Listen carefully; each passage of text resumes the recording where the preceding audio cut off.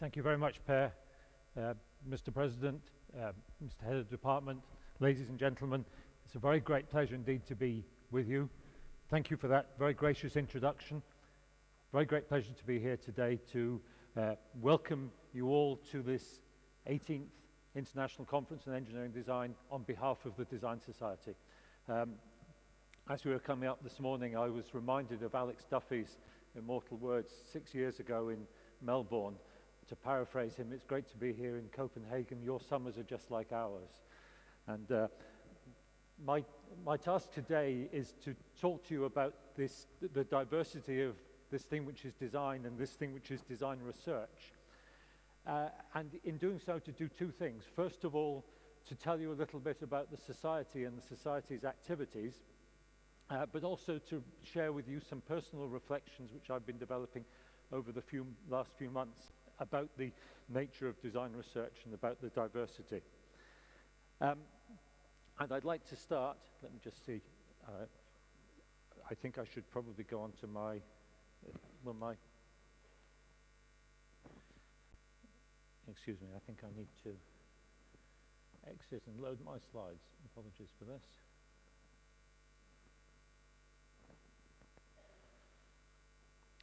Yes, I'd like to start with the words of one of my heroes, Herb Simon, who uh, just over 40 years ago gave a series of lectures uh, on the sciences of the artificial and then wrote a book on those lectures. And I think what Herb Simon said at that time can be a mantra for us in the design community. He said that engineering, medicine, business, architecture, and painting, and I'm sure we can think of others, are concerned not with the necessary but with the contingent not with how things are, but how they might be, in short, with design. And uh, uh, the, the statement which I think sums it all up, everyone designs who devises courses of action aimed at changing existing situations into preferred ones. And I think we, we see the truth of what uh, Simon says all around us. We live in an artificial world. Our exteriors are artificial. Our interiors are artificial. Even when we see the natural world, we see everywhere the hand of man and the hand of design in effect.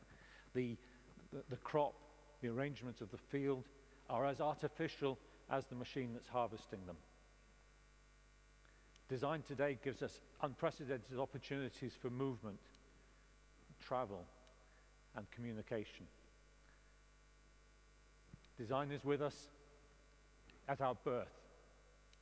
Design is with us through life. Design is with us in our work and in our play. Design gives us elegance and comfort in our lives. And design can be a great source of pleasure in our lives as well. Now, as well as this enormous diversity in the artifacts in the focus of design, there is an enormous diversity in the way that design is studied.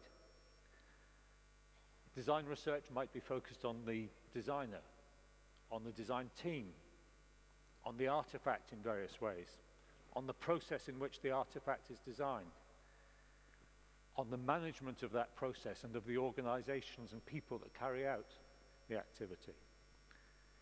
It may be focused on the nature of creativity and of the cognitive processes which lead to it. It may be focused on the nature of innovation in different contexts and communities, on the customer's response to the artifact, on the, on the cultural issues that apply within the teams, within the users of the artifact, emotional responses to the artifact, and so on. The list is endless. I'm sure you can think of many things which are not in that list. And the third aspect of the diversity is in the nature of the communities that study design, partly because of the different artifact focus and also partly because of the different subject areas of interest.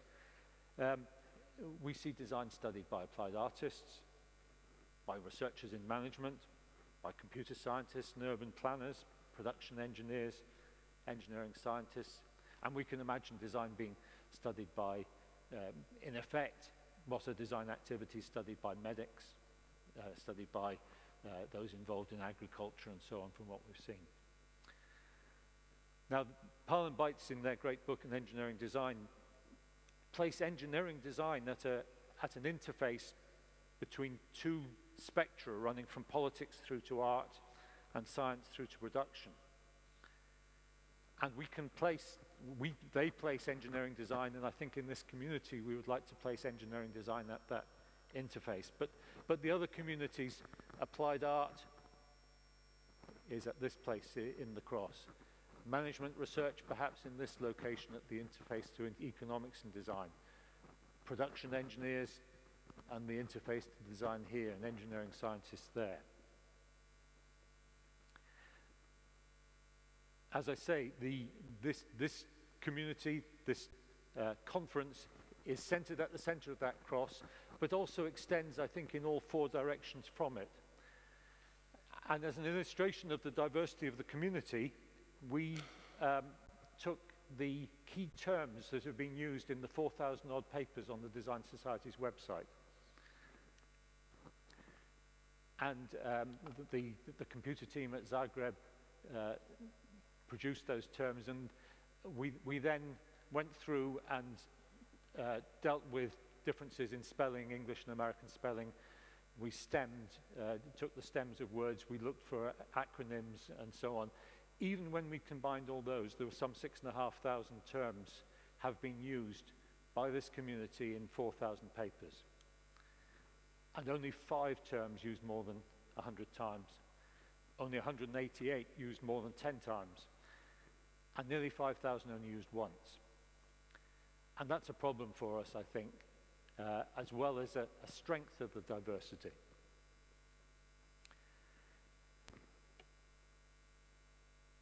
The, we know that design has enormous potential. Oh, oh excuse me, uh, I, have got ahead of myself. The, the, the, these are the. And, these are the uh, 50, the key terms that were used at least 50 times. Interestingly, the one which appeared uh, most times, design structure matrix, perhaps reflecting the special, the uh, the particular conference in that area. Design education, product development, design process, computer-aided design, uh, occurring very significant numbers of times. But I think those terms show the, the, the breadth of interest and the major areas of interest within our community. Now we know that we see every day terms like this expressing the potential of design. How can we communicate that potential to the uh, rest of the world? Because we have an issue, we heard earlier from the President, that the rest of the world may only have narrow understanding of design. For some people in the general public, design may be about designer clothes or the design of a particular piece of furniture. For those in public bodies, design may be simply about styling or, as we've heard, about cultural issues and may not reflect the, the diversity. The Design Society is working to, to address that. As you've heard from Tim McAloone, uh, the our society has, for this conference and for the previous one, had a set of um, themes which have been used for organizing the papers and also organizing the publications into a number of proceedings. And that, that list is also used with additions by the design uh, conference in Croatia. In addition to the themes, the Society has a number of special interest groups and those special interest groups are transient bodies within the society uh, that, that look at particular areas of interest and develop our understanding in detail.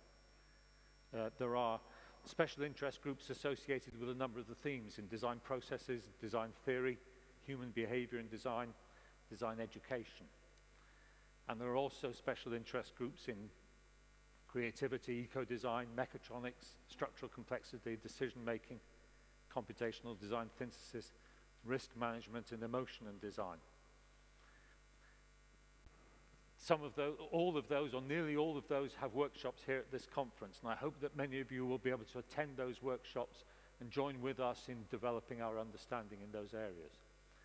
A number of those have their own conferences, Engin engineering and product design education, for example, the International Conference on Design Creativity, modeling and management of engineering processes. And those are other opportunities that you have to develop our understanding in detail. Um, and we are looking all the time for new SIGs. Those last two, risk management and design and emotion, are only just started with the society. If any of you have proposals for other SIGs, please uh, feel free to approach us on the Design Society stand, make yourself known to the uh, Board of Management or the Advisory Board. But uh, as I said at the beginning, I've also been, been trying to think, how do we, uh, do we characterize these thing, this thing called design? And some of you will know that I'm, uh, in my research work, interested in a thing called faceted classification. In faceted classification, we don't classify things into a, a hierarchical taxonomy, but as instead associate with an object being classified a number of facets, a number of attributes of the object. And I've wondered whether this would help in categorizing the research that we do. And I've looked at, at uh, the work that we've published in the Society recently, in particular in ICED 09, which I'll come to uh, shortly using these facets. And, uh, for example, observe that, that some research that's done is looking perhaps in real time at the behavior of, of uh, uh, designers. So it's looking at studying designer as it happens over minutes or hours, perhaps. Some research may be looking at how organizations develop over months or years. Some research is aimed at the early phases of the product life cycle, others at the middle or later phases. Some is aimed at studying individuals, others at teams, other at whole communities. Some is focused on a single activity or issue, other on perhaps how many activities can be integrated. At the artifact focus, it may, the focus may be on a single part or feature of a part, or the focus may be on uh, assemblies or complex interactive systems, interconnected systems design may be studying people working at uh, different levels of originality or tools may support work at different levels of originality from variant uh, through to work trying to achieve radical innovation. Researchers may use different levels of abstraction in uh, representing uh, the work done or designers may use different levels of abstraction in their tools. And finally, the research approach differs widely from experimental and observational techniques, survey and questionnaire, modeling and simulation, literature survey, case study, and experimental application of methods and tools. As an example of this, I'm going to show you four examples from papers. These are anonymized, really. Some of you may recognize your work. I hope I haven't offended you in doing so. But, for example, from the human behavior and design theme, one might see a paper like this, comparison between the responses of experienced and inexperienced designers to visual stimuli and idea generation. That would be work looking at behavior of individuals in real time, operating over a period of minutes, working on a single activity. In the paper I saw, it was looking at single and small assemblies uh, working at the early concept stages of the life cycle in an original design context, and the method used was observation, I think, and protocol analysis as well.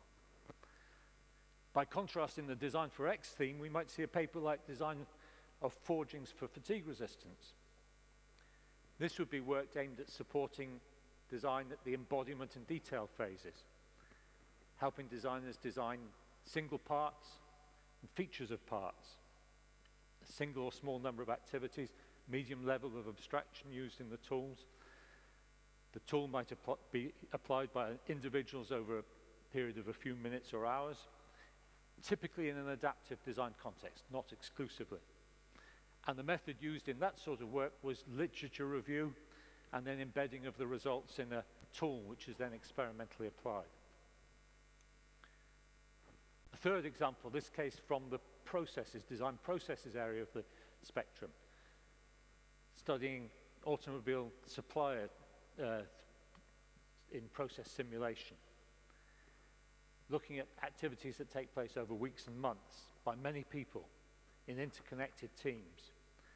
working on sub-assemblies, uh, high level of abstraction in the, in the modeling approach, and a whole series of life cycle stages from specification through to detail.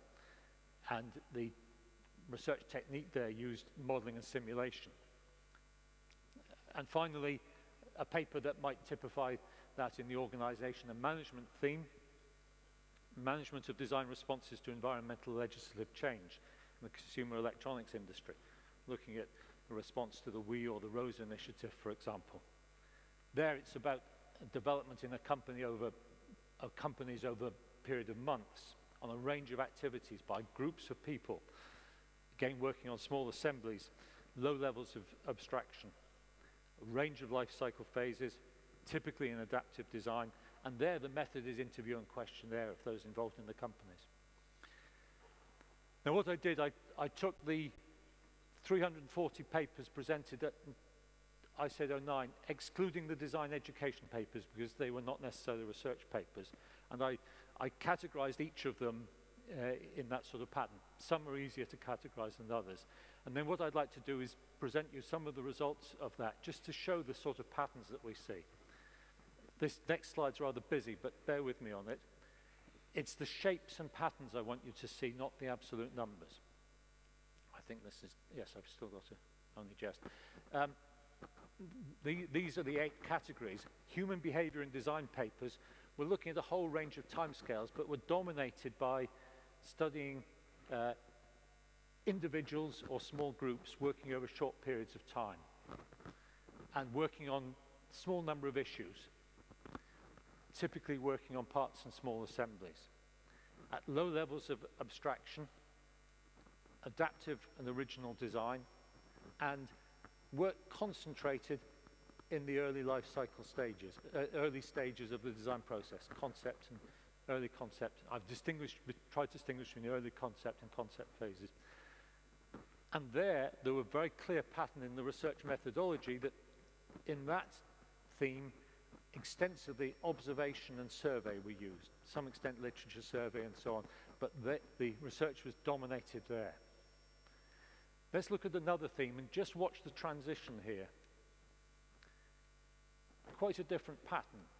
This is the design processes theme, and here the work is studying much longer periods. This is days through to weeks in my uh, parlance.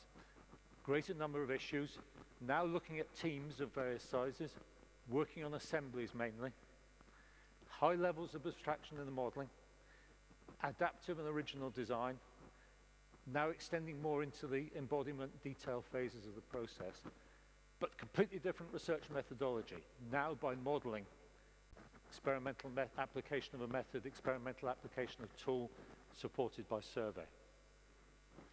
Let's look at one more in a bit of detail, and that's design, organization, and management. And again, look at the transition. Much longer timescales, looking at how people and organizations work and develop over months greater number of issues, greater number of people. This is now sort of interconnected teams of people. This, I was characterizing this as assembly of a complexity of a car, say. And now we're starting to see more interest in trying to achieve radical innovation. And we're starting again to see more emphasis still on the later stages right through life of the life cycle. But here again, the research methodology is different. Dominated by literature and by modeling and by survey and case study here. I'll show you three more, but only just picking out some points in them because I'm conscious of time. This is design information and knowledge, and design information knowledge is about preserving, developing knowledge over a long period, and we see that in the papers. And also, we see that this is the area where there is the most emphasis on embodiment, on fleshing out the, the design. And here our methodology is dominated by modeling, but also experimental application of a method. And here there are lots of experimental tools, lots of computer tools to help support information and knowledge. Design theory and research methodology, we're back now to small groups of people, small numbers of issues, working in the early stages of the process. And in this area, there was lots of literature study, people saying, pulling together literature to form a theoretical framework, say. And there was lots of work again on experimental application of a method. Design methods and tools. Again, small numbers of issues, small numbers of people, and here, this, was a, this is a very big group, enormous amount of work saying, here is my method, here is how it works. Design for X, Design 2X, as one imagine, is dominated by single issue papers, where the X is some single issue. And here we start having more emphasis, or nowhere we had a lot of emphasis on through life. This is in particular the eco papers. And again, modeling and experimental method is the methodology. Product and systems design, uh, a lot of these are smeared, but modeling, experimental method, now quite a lot of case studies, and now quite a lot of through-life work in systems area. Finally, the overall pattern. Now, we don't learn much from the overall pattern because the figures are all smeared across there. But what we do learn there, I think, is from the gaps. And what we see as a community, I saw in two, two years ago, very little on the systems area. And this is service. For some reason or other, thank you, Mr. Gates, I couldn't mark that. Everything else I could label. I couldn't mark that. But that was service or product service system. Although we say it's important, there wasn't much evidence of it two years ago. There's not much evidence of studying communities. And we're dominated by early concept and concept. We don't do much in the detail area and supporting what my colleague uh, Steve Culley has said for some time, we don't do much support of development. And our research methodologies, these are the experimental methodologies. We don't apply them anywhere near as widely as we might, I think. Now that's partly because these are conference papers and you would add more experimental development, but we're dominated by modeling and this is my method, here is how it works. Now, as I said before, those were my uh, facets, and you might consider others. It might be positivism versus uh, uh, other uh, approaches to research. It might be technology readiness levels, it might be the research domain we look at and things like that. I'd be very interested to hear what you think of it. It's my interpretation, uh, and all, I would apply my bias on that. So I'm not saying this is a perfect allocation, but what I do think is that by characterizing our work better, we can cluster work very much better. I saw as I went through that I'd have the same pattern in a series of papers, and that showed the program team assigned them together very well. But it also helps us identify outliers. Uh, I very often see a paper that didn't fit in with the pattern, and in reading it in more detail, yes, it, I think it was badly placed. Um, but equally, it could identify where people are taking new lines in a particular area. But two more important things perhaps may help external observers, industry contacts, for example, find work of interest. A company might say, I want a technique that I can apply to help a small team working on assembly design in a, an adaptive design situation. And they could pick out in that way. And as I've shown, it helps us map where there are gaps in our work, where our understanding is good, and where it's poor. But more generally, I think this mapping should be part of a larger work within the community, is part of a larger work within the community on how we characterize this thing called design, design research, and where it should go in the future. Uh, identifying where we agree, consolidating terminology and identifying gaps. And here I return to those key words. We need to look at those five or 6,000. We need to consolidate them and, and uh, say, what are the real key issues and how are they developing with time? How are the, the terms, which are the terms which are on the increase and so on. Now that's being done by the Design Society again. The, the Society has a board of management and also an advisory board of 28 that advises the Society and we heard there are SIG leaders as well. And every March we meet at what we call the RIGI meeting. This is uh, this is the advisory board and the board of management meeting this March in, in Rome. And this year, the focus of our scientific discussion in that meeting was on saying What's the future of design research? What are the key topics? How are they developing? And so on. This is still work in progress. The AB is going to be discussing it this week. But the, that meeting was reported, has been reported on by Warren Seering and, and uh, Josef Oehmen from MIT. And uh, I'll just pick out a snippet from, from the report. They, they characterized design research as, as being about three preferable future states. Number one is that design should be about effective design. A preferable future state from design research should be effective design. That product development teams will deliver successful products consistently and with shorter development timescales. Secondly, that design research should lead to sustainable design. The stream of new products and processes for delivering them should be sustainable. And thirdly, that design research should lead to documented design that design and product development should be studied using a set of accepted research methods. Best product development practices will be understood and used pervasively. And I would add to that that the product itself will be well documented and the process of designing it will be well documented. And what that report does is take a variety of design research activities that came from the discussions of the AB and maps them against those three preferable future states. Now, you can all help in this. We, we want the whole community to feed into us. You can obviously please give us your suggestions for categorization. Tell us whether what I presented is of interest and, and is, could be used in the future. Please, you can help us consolidate uh, terms and map our research. If you're interested in joining in a team in that consolidation, uh, please leave your name. I'll explain in a moment. We would like to identify what are the future challenges for research in our community? And in particular, what would really characterize a breakthrough in our research? And when we've done that, we then wish to try to communicate that to people who we should be influencing. Public bodies, research funders, government, our academic colleagues, and so on. So if you have any contribution on any of that, please come and visit us at the Design Society stand leave a comment. There's a comment book there that you can leave.